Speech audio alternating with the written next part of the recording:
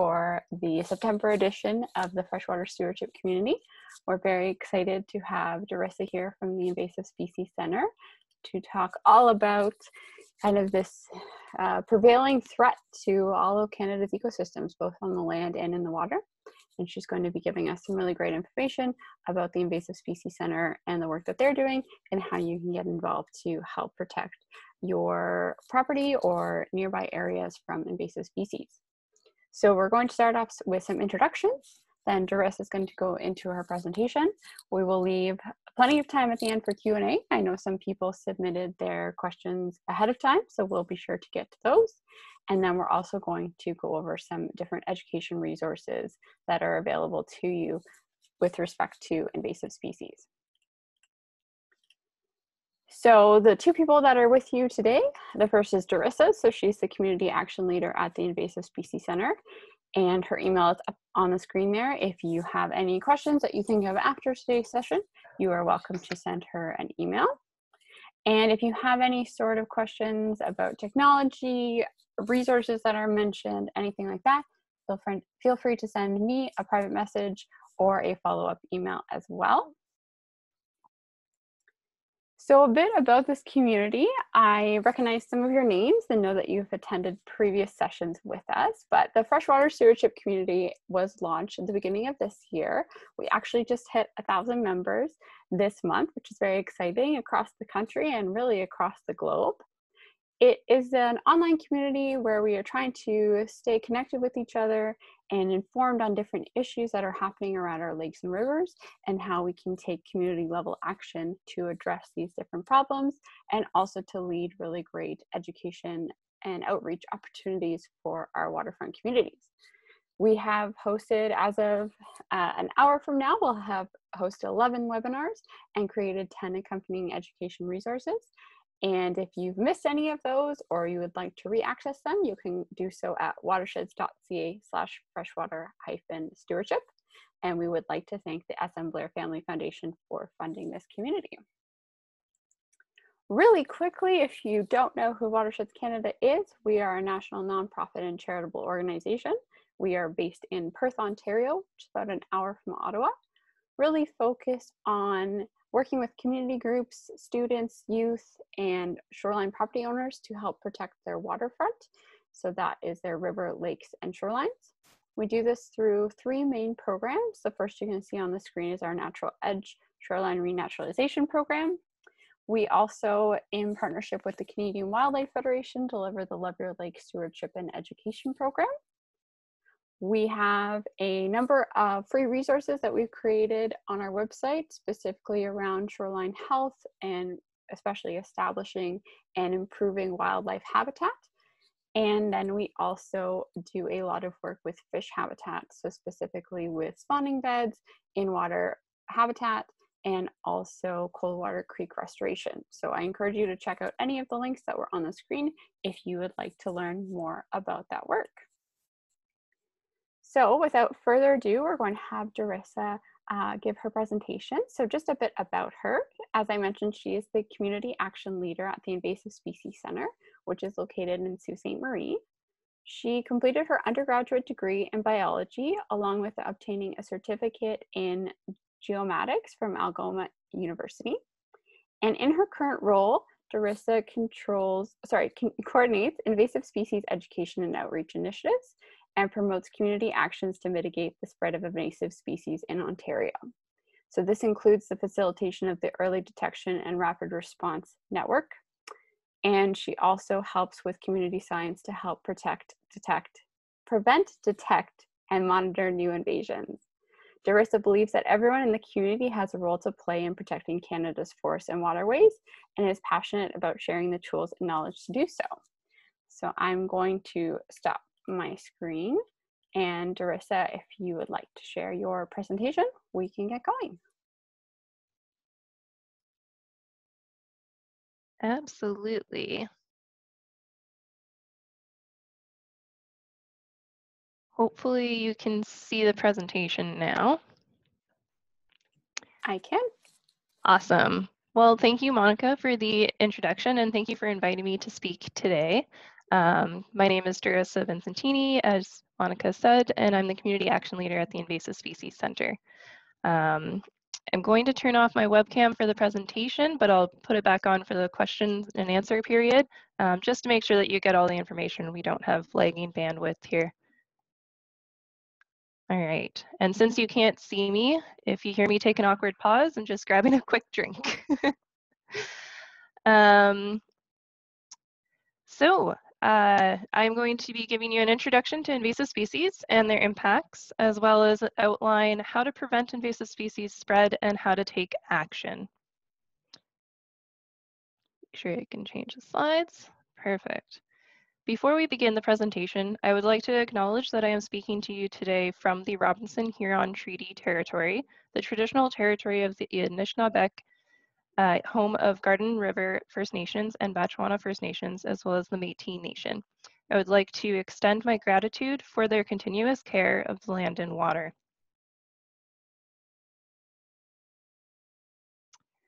Uh, the Invasive Species Center, if you're not familiar with us, is a not-for-profit organization that connects stakeholders, knowledge, and technology to help prevent the introduction and spread of invasive species that harm Canada's environment, eco economy, and society. So first, we're going to begin with a little introduction to what is an invasive species. So an invasive species is an organism that is introduced outside of its native range and causes harm within its new, newly introduced range. A non-native species is not inherently considered invasive as it has to negatively impact the ecology, the economy, or society of its new, new range to be considered invasive. And typically, invasive species affect all three of these. Some characteristics of invasive species after being introduced uh, include that they're fast growing and reproduce very quickly, being very prolific. They lack natural predators that would normally slow their spread and keep their population in check. And the target species and native species lack natural defenses against the invasive species from not having evolved alongside each other. All of these characteristics contribute to the exponential population growth of invasive species, and the severity of their impacts. Increased trade and travel have been the catalyst for a spread of invasive species across the world. Sometimes this is intentionally importing the species, like introducing a plant due to its, its aesthetics or medicinal properties in other areas of the world, or unintentional, like the case with a lot of aquatic invasives that hitch rides on big shipping freights, for example, in the ballast waters. Because of this, the number of introductions of invasive species continues to increase, um, both intercontinentally as well as within uh, uh, continents, national boundaries, or provincial boundaries. One way that we tackle invasive species is through the power of community science. Community science is important for increasing education and outreach to further the collective understanding of invasive species and their pathways of spread. It provides collaboration between the public and scientific community, and it's an extremely cost-effective way to collect important data and gain access to new areas. It increases the eyes on the ground, contributing to important research and monitoring. The more eyes on the ground means that we have more, we're more likely to spot the first detection of a new introduction or an invasive species that is expanding its range. So this brings me to the Early Detection and Rapid Response Network Ontario, it's our community science program here at the Invasive Species Center. It's coordinated with the uh, by the Invasive Species Center and delivered in partnership with the Ontario Invasive Plant Council and the Eastern Ontario Model Forest, which is uh, partnered with Ontario Woodlot Association. And it is funded by the Ontario Trillium Fund. Our current area of focus is actually in the Kingston, Rideau, and Quinte catchment of Eastern Ontario. So what is EDRR? The EDRR network is a community science and community action network aimed to train citizens on how to detect, report, and respond to invasive species in Ontario. It's an eyes on the ground approach to stopping new introductions or preventing further spread of invasive species. We achieve this by providing tools, training, and resources through education and outreach so everyone can help play a part. The EDRR network helps fill invasive species knowledge and tool gaps, and inform communities of incoming threats. Um, we help coordinate stewardship, removal, removals with local organizations and volunteers. We link partners with invasive species resources, um, other volunteers, or other needs, uh, provide opportunities to work with a wide range of organizations on various area projects, and we respond to public inquiries. This graph depicts the invasion curve. The EDRR network focuses its efforts at or before species arrival. Uh, that could be a local arrival within your community or all the way up to a high level threat for a new introduction into Canada. Prevention and early detection are key to mitigating the cost and time required to manage a species, uh, and it also increases the feasibility of a species being successfully managed uh, the earlier that it is detected. The earlier we can detect a potential invasive species, the quicker we can act and react to eradicate the species before it has a large impact on human health, biodiversity, the economy, or society. Once the species is established, the strategy often shifts from eradication to managing and containment, since eradication becomes less feasible.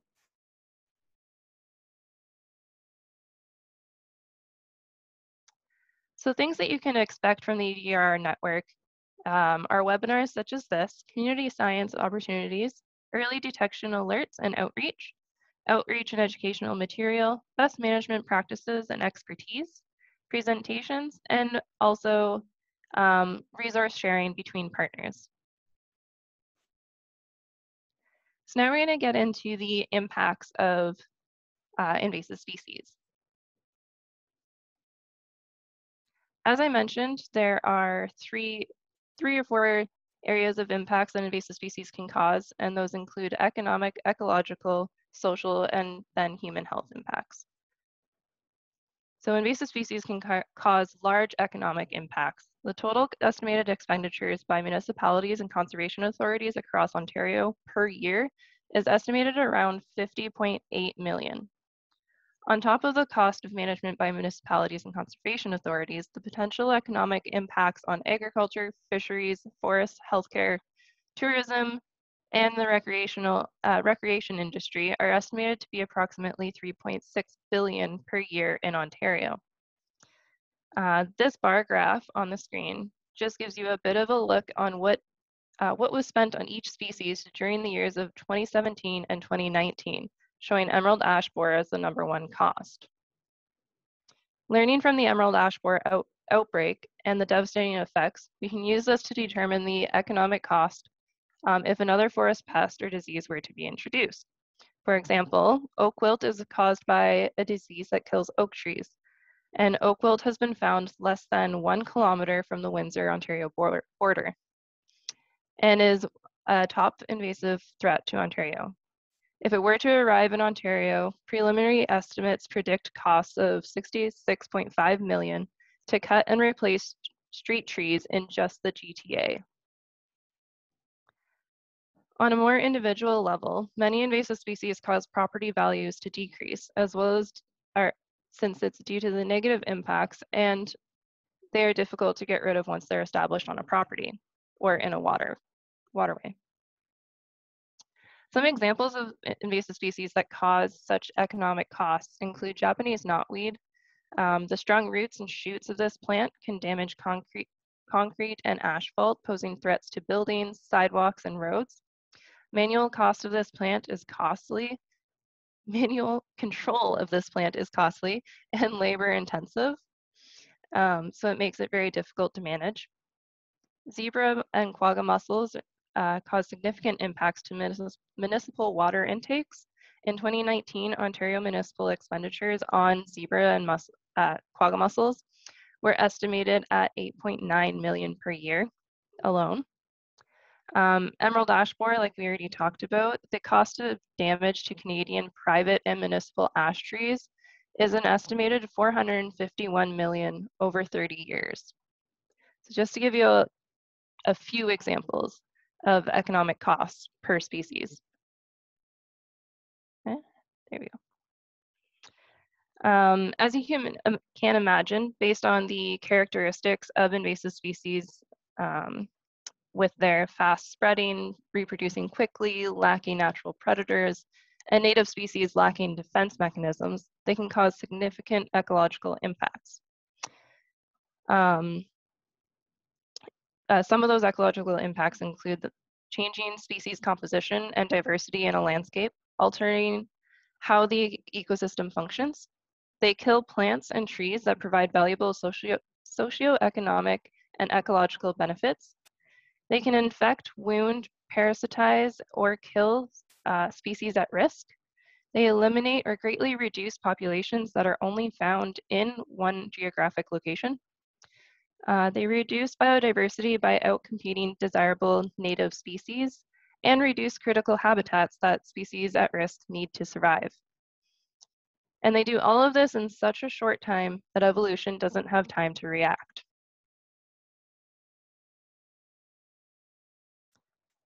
As of 2020, there are 622 wildlife species at risk in Canada. Many of these species are impacted by invasive species. And here are just some of those examples. American ginseng is an important is important for biodiversity and has long, long been used in traditional medicine by indigenous peoples. American ginseng is threatened by garlic mustard, an aggressive invasive plant that outcompetes for resources, changes soil chemistry, produces up to 60,000 seeds annually, and has populations that can double in size every four years. Uh, Monarch butterflies lay their eggs on dog strangling vine, which is another invasive plant. And then they are unable to complete their life cycle since their caterpillars actually can only feed on milkweed. Lake sturgeon, like many other native fish species in the Great Lakes, are host to the parasitic sea lamprey, which suctions to the body of the fish, scraping the tissue and consuming the blood of the fish. The fish either die from blood loss or infection.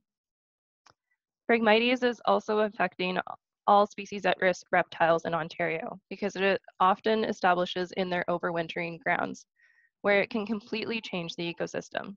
It grows so thick that turtles have to have a difficult time moving through the stand, and it also shades out the area. Reptiles are ectothermic and rely on regulating their body temperature by basking in the sun. Invasive species are not the only reason that these species are at risk and likely isn't the reason that they became at risk in the first place. Um, however, it adds to the number of factors that is threatening these already vulnerable populations, making them making it even more difficult for them to bounce back and recover. Impacts to public safety. Um, if you were in Eastern Ontario at all this spring, you may have noticed the outbreak of the LDD moth, which is formerly known as the gypsy moth. Um, the outbreak in the past few years has uh, increased the number of reports of um, histamine reactions and rashes. Um, the little hairs on the caterpillars can, ca can cause these, and if the caterpillar is in great abundance, like we did see these past few years, the hairs can actually even be found um, floating in the air. And then just so you don't even have to have a caterpillar on you just the hair itself. Um, invasive phragmites is another example. It's a, an invasive perennial grass commonly found along roadside ditches that forms dense monocultures and can reach up to five meters in height the height of the stalks can impact visibility at intersections and around corners putting drivers at risk. Um, some aquatic examples include water chestnut. Um, it has the these really hard seeds that's seen in the top left of the picture of the European water chestnut on the bottom left. Um, and they float to the, or they don't float, they sink to the bottom of water bodies um, and go, get washed up on shores, making it likely to encounter the sharp, sharp seeds if you're walking on uh, into the water and they can puncture your foot.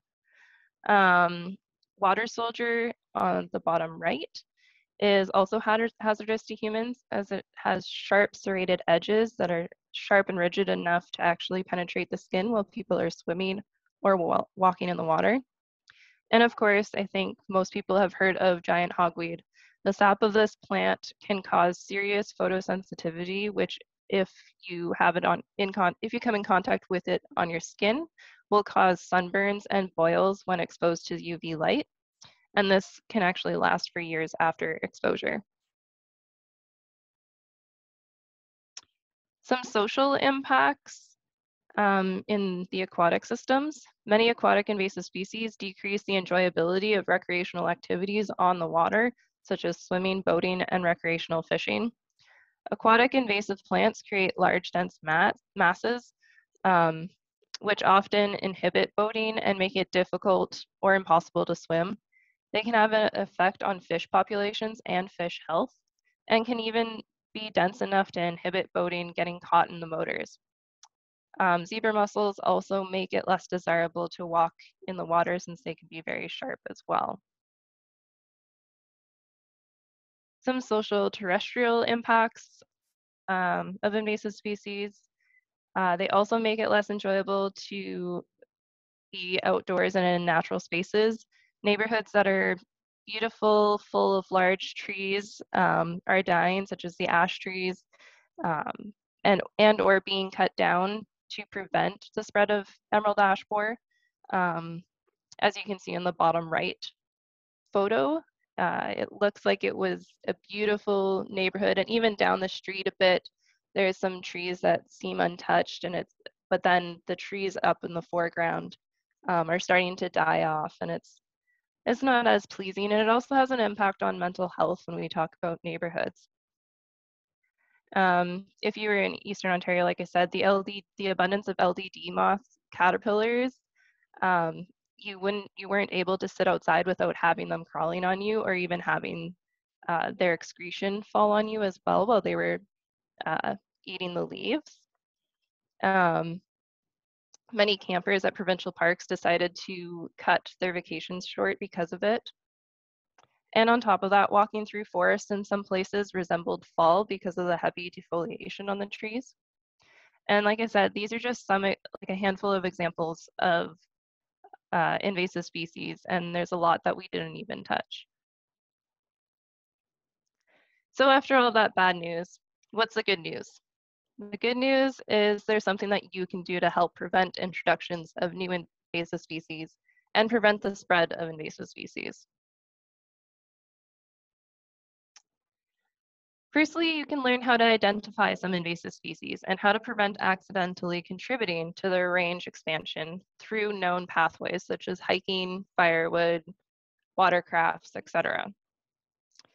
Um, avoid infested areas if you do know of an infested area. And if you can't, then reduce your speed when traveling by any invasive plants, especially aquatic plants. Um, boat wakes and motors can dislodge the plants and offsets or break off fragments, allowing them to spread to new areas. Inspect your equipment and yourself, both in aquatic and terrestrial equipment, such as boats, trailers, fishing gear, um, after each use, and after hiking and camping, inspect your clothes, shoes, and even dogs for invasive plant seeds. Avoid planting or purchasing invasive aquatic or terrestrial plants in your vegetable and fruit gardens water gardens or aquariums, gardeners should only use native or non-native, or sorry, non-invasive plants that are encouraged and are encouraged to ask garden centers and aquarium suppliers for plants that are not invasive. Follow all your clean, drain, dry protocols when moving between water bodies. Remove all plants, animals, and mud. Drain all live wells and standing water. And dry your boat and equipment before moving to the new water body. Don't dump your bait or, where possible, use locally sourced and caught bait. The provincial government has protocols on how to properly dispose of bait within Ontario. And this is one of the pathways of Asian carp introductions as the juveniles look similar to some of our bait fish. So also learn how to identify your bait fish. Um, clean your boots, clothes, and outdoor gear of hitchhiking plant seeds. Um, as I mentioned, inspect all your equipment especially this time of year, uh, the end of August through the fall, when most plants have gone to seed. Buy and burn local firewood to avoid spreading insects and pathogens that are hiding in under the bark and inside the wood. We can't see them and we don't know that they're there. And like I said, always choose native species. a very important thing that you can do is report any invasive species that you see. Um, you can report through EDDMapS at www.eddmaps.org or by downloading the EDDMapS app and creating an account. These reports go directly to experts who verify that an identification was made correctly. Um, so make sure to take a picture to include it with your report. And it's also nice because then you don't have to be sure of what you're reporting.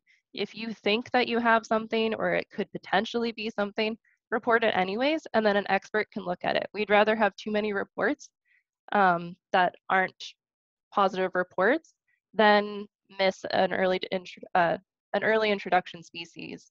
Um, so when in doubt, report it anyways. Um, these reports are very important as they help make help us make those early detections with more eyes on the ground, making reports such as um, more eyes on the ground, such as community members, not just limiting it to the number of folks that are we're actually working in that field.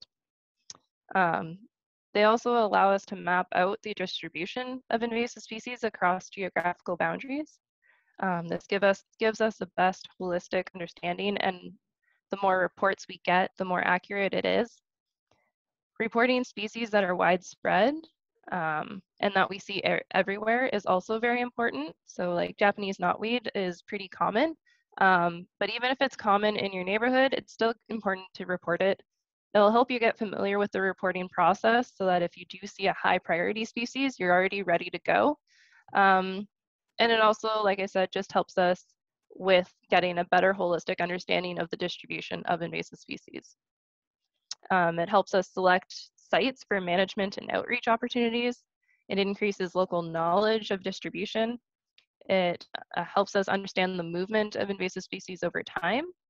Um, it could also potentially help influence policies, uh, enact a response plan for high priority species, um, so when in doubt, report. I'm going to keep reiterating that. um, there are other ways to report though outside of EDDMapS if you prefer not to use uh, an online method and are more comfortable calling in, then there is the Invading Species Hotline, um, as well as the Canadian Food Inspection Agency. And I will provide all of these uh, in the resource document that I send over to Monica afterwards.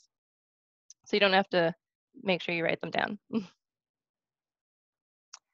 Aside from what you can do in everyday lives to help reduce the risk of spreading invasive species, the Invasive Species Center, along with the plenty of its partners, um, often have community science initiatives where you can have an active participation in invasive species monitoring and management. So one example that we have going on right now is the Community Science Tree Check Form in partnership, in partnership with the Canadian Food Inspection Agency where you can report the health status of your neighborhood trees. We outline 10 signs and symptoms of invasive species infestations on trees on our website at www.invasivespeciescenter.ca forward slash tree check form, where you can also fill out the survey on your tree as many times as you want. So you can do 10 trees in your neighborhood, one tree in your neighborhood, a whole stand of trees, as many times as you want. Um, the best part is, is that you don't need to be an expert. It's very easy to follow, and you don't need to know anything about the trees or about invasive species. I can briefly go over the signs and symptoms right now, but they are on our website and they will be defined on the website as well. So we're looking for leaf discoloration, branch dieback, holes, cracks, peeling bark, woodpecker activity, egg masses on the trees, um, frass, which is that excretion from caterpillars, uh, mold growth on the leaves, sap excretion, uh, feeding activity, and as well as obviously the insect populations themselves. Um, these signs and symptoms don't necessarily mean that there's an invasive species present. However, if you look at a tree and it shows these unhealthy signs, then you can take that information and say, well, why? Why is it showing these unhealthy signs?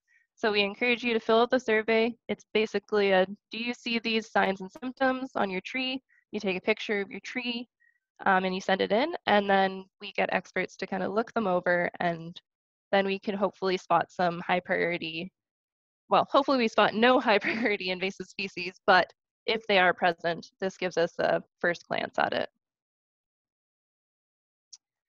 Another initiative that we have right now is the photo contest in partnership with the Federation of Ontario's Cottagers Association. Um, and this is through our iSample On uh, program. However, this photo contest actually ends tonight at 11.59. So if you'd like to submit and enter, then get it done today. Um, we're calling on calling on Ontarians to submit a photo along with a description of why or how they are protecting their lake from invasive species introductions for a chance to win an awesome lakeside pri prize pack.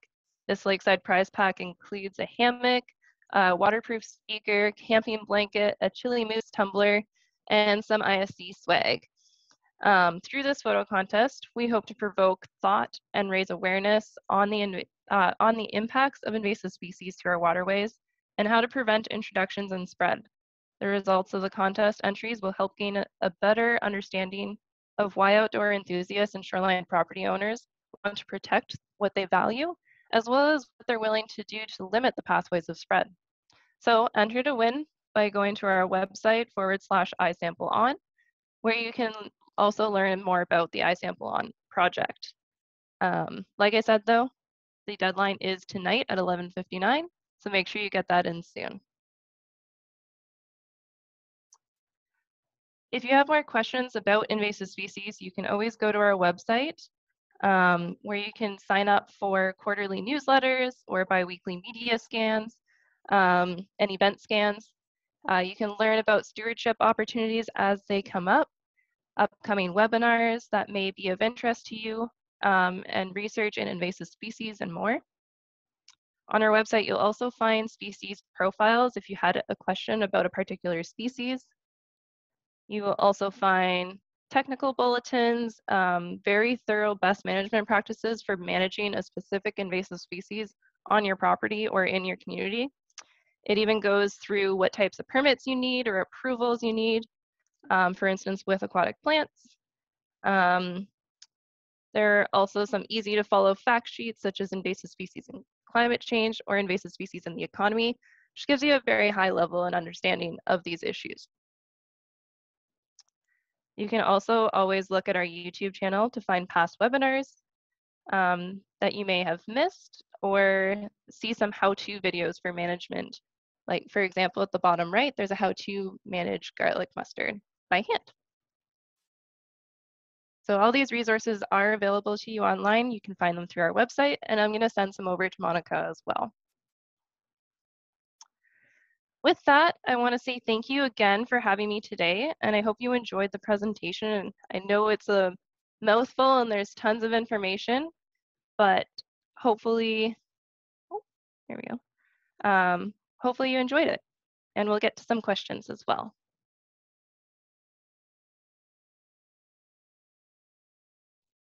Thank you, Derissa. So we have some questions that were submitted ahead of time. So we'll start with those ones. The first one, uh, you kind of touched on this, but maybe we can go into it a bit of detail, how to, or if it's even possible to eradicate Eurasian milfoil. So Eurasian water milfoil is difficult to manage. Um, firstly, there is uh, a native water milfoil that we have in Ontario, and there's also a hybrid between native water milfoil and Eurasian water milfoil. And it's very difficult to, you can't identify which plant is which without actually counting the number of leaflets on the stem. Um, so firstly, you have to make sure that you actually have the invasive Eurasian water milfoil. Um, and then for actual management, I would I encourage you to go and look at the Eurasian water milfoil best management practice on our website um, because it goes through, like I said, it's very in depth and it goes through if you need any permit permits, it goes through um, based on, it'll walk you through your situation too. So um, it gives you all the different options for a large infestation, a small satellite plant, um, and all these different scenarios so you can choose what's best for your area and your infestation and your shoreline property.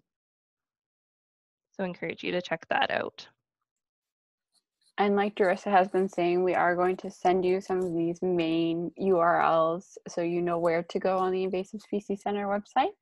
But of course, if you want to check it out in the meantime, you're welcome to too. But we will be sending them out to everyone who has registered and attended.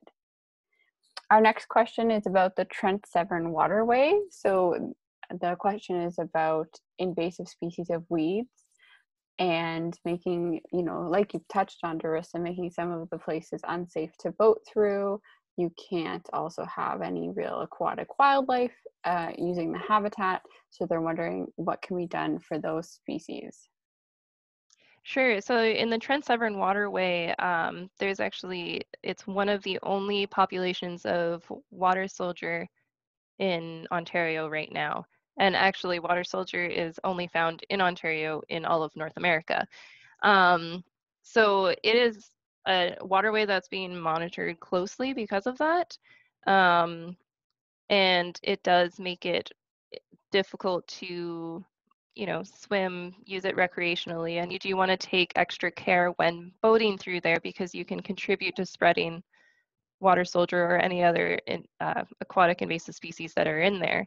Um, water soldier is very easily spread because it produces these offset plants, um, making it even extra prolific at spreading. But then your boat wake or your boat motor, like I said, can dislodge either those offset plants or even just a small fragment of the plant or leaf itself.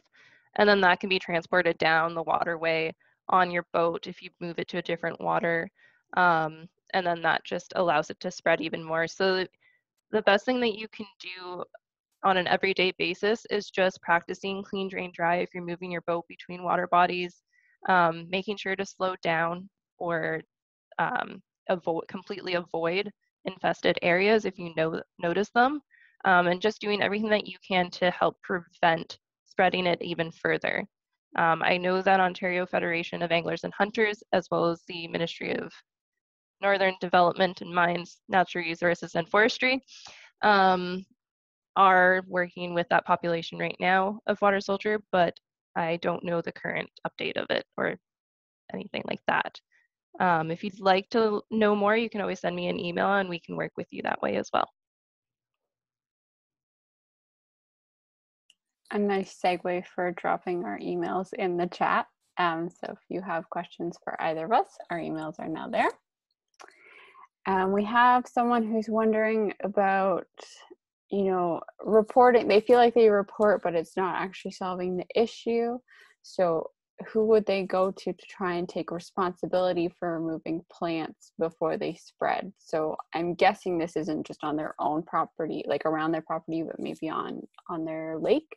Who could they go to to try and take action before it becomes, you know, a full blown takeover? Absolutely. And I, I guess I would start by just saying that your reports do matter, even if you don't feel like they they aren't getting the uh, the attention that they need. Um, resources within the government and organizations that do work with this are sometimes limited, and it's unfortunate because we know that these are widespread, and we'd love to do as much as we possibly can. Um, and more to help prevent the spread of these invasive species. Um, but reports do help because they will contribute to the actual distribution maps, which is helpful even if it is a species that isn't high priority. So for example, a high of a high priority aquatic plant, water soldier is one, and that's because it's not widespread across Ontario. Um, it's only found in the Trent Severn Waterway and then a couple private ponds, and then uh, recently it has been found in another location. So they are working at trying to main, uh, contain the spread um, and then also eradicate these satellite populations that are popping up in other places. Um, and that is the best that we can do with that right now. Um, as I mentioned with the um, the curve, the invasion curve, it's once we get past a certain point, it's almost unfeasible to actually eradicate a species and it does become it we move more to containment and preventing the spread um, that being said if you're looking to do more in your community or uh, in a lake or something like that um, you can always either reach out to us and we can discuss possible ways to collaborate, um, whether it is community science led, and we can just even provide resources for you to put together your own community science project. Um, we can pass around those along those best management practices for that specific species that you are dealing with. Um, and that will, like I said, outline any uh, permits that you might need or any other questions that you would need before actually doing any sort of management, especially on water bodies. Um, and yeah, so you there's always just reaching out might be the best first step, and then we can go from there based on the specific situation. Um, unfortunately, invasive species are why like they're everywhere, and we have limited resources, but we do try to do our best. Great. Um, another one that was submitted beforehand, wondering if there's any way for people to go to their municipality with say the information from the reportings and try and lead some action on a like a uh, oh dear like a bigger level where maybe not just their water but around the whole municipality?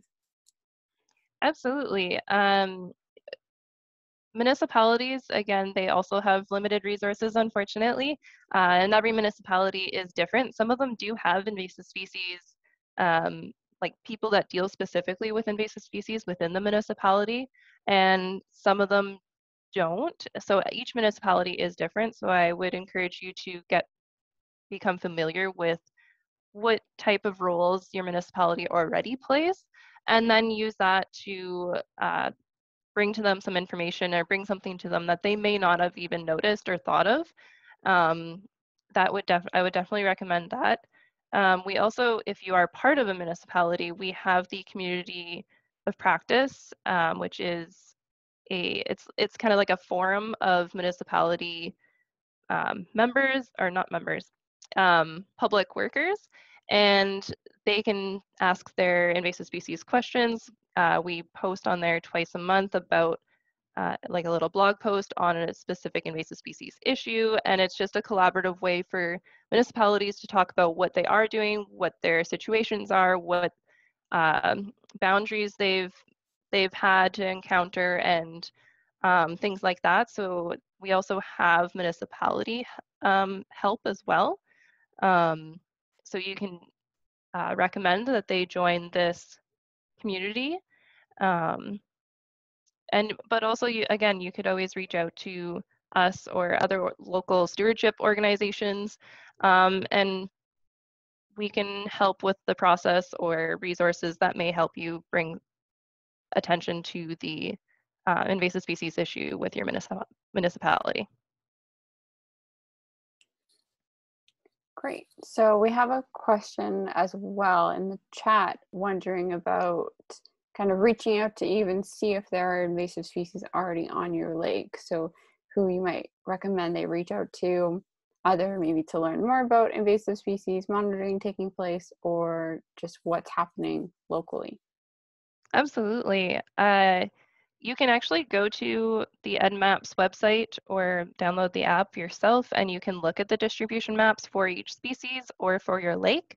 Um, so if someone has made a report on your lake, you can actually see that um, once it's been verified um, by an expert. So you won't get an incorrect report either. So once you make a report, it goes to the verifier and then it, if it's verified as correct, then it will be made public.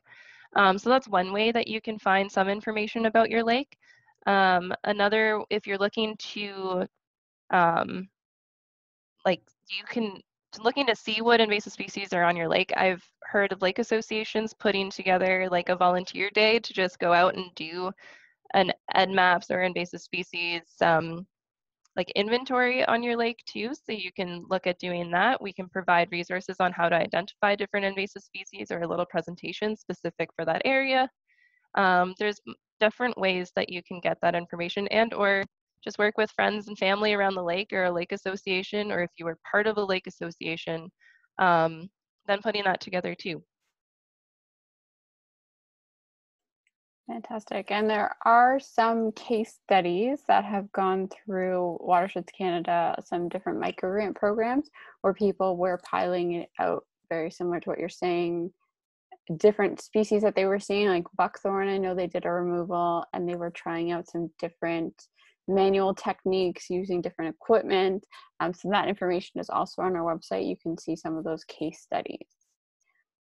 And then take that information. You can either connect directly with the Lake Association or based on their results, you can try and pilot that on your lakefront community as well. Someone's wondering if you have any recommendations for controlling Richardson pondweed. I am not familiar with Richardson's pondweed personally. Um, I could find out or look into it. Um, I don't even think we have information on it on our website or anything like that either. Um, so unfortunately, I don't have anything on top of my head, but I can certainly look into it further.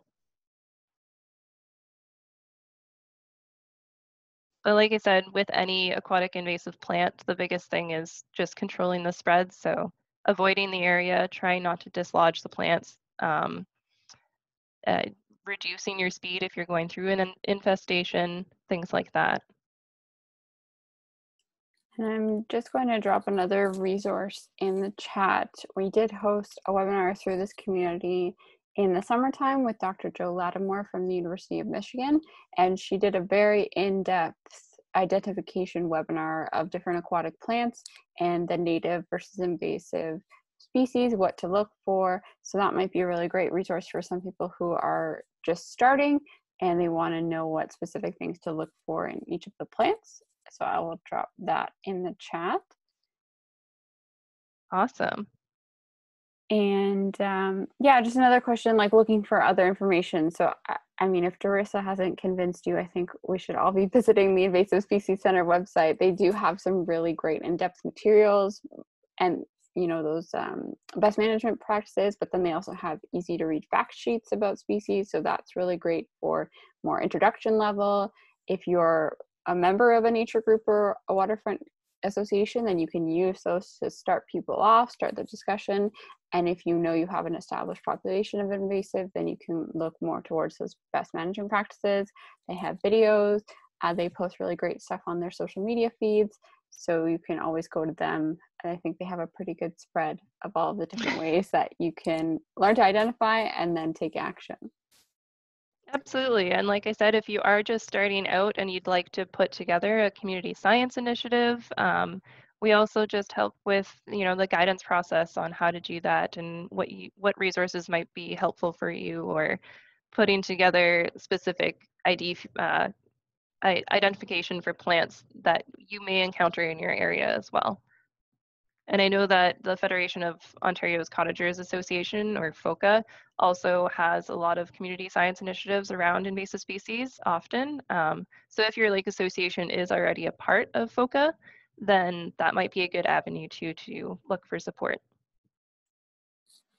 And I'm just going to put in the chat a quick evaluation survey. People don't mind clicking through and just letting us know what you thought of the webinar today.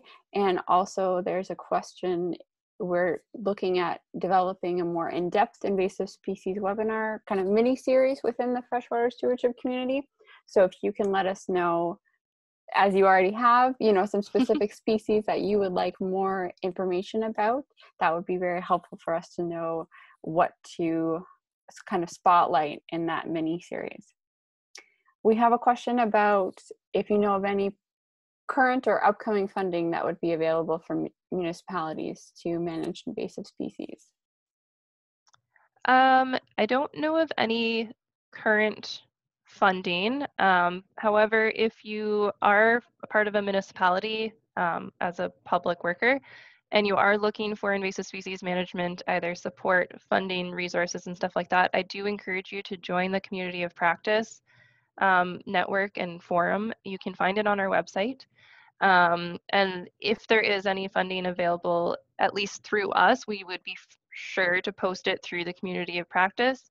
Um, you can also join our mailing list um, and any funding that becomes available through us would be up on there. Um, in terms of outside funding, I'm not aware of any um, at this moment, but I'm not, I don't work in the municipalities. That's one of my coworkers' roles. So I could also put you in touch with them.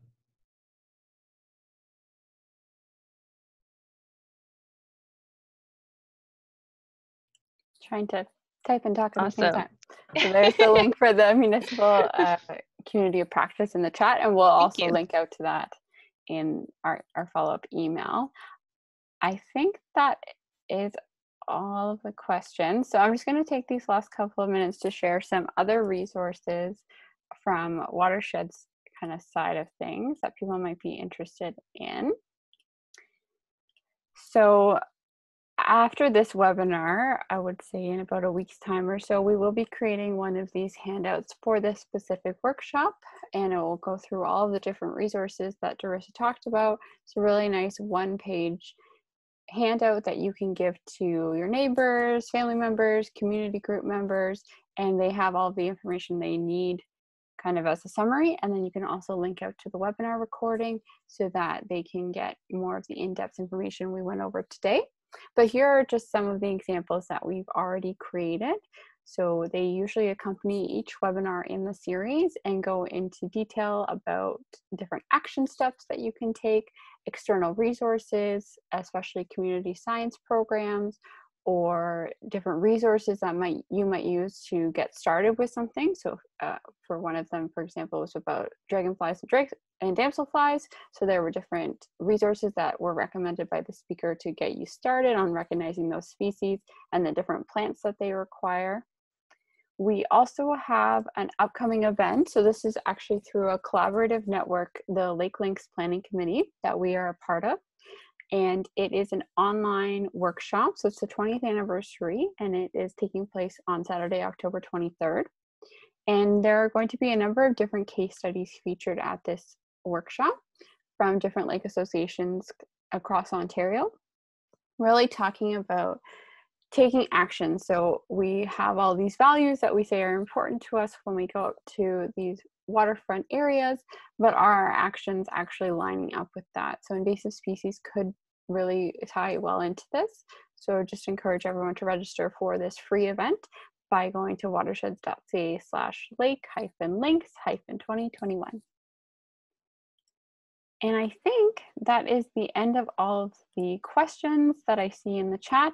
Again, if anyone thinks of any after the fact, you are welcome to email either of us, and we will be sending follow up resources and the recording from today if you would like to watch back or again send any of the resources to other people. And I'd like to thank Derissa again for giving us this wonderful presentation. Awesome. Thank you so much, Monica. It was a pleasure.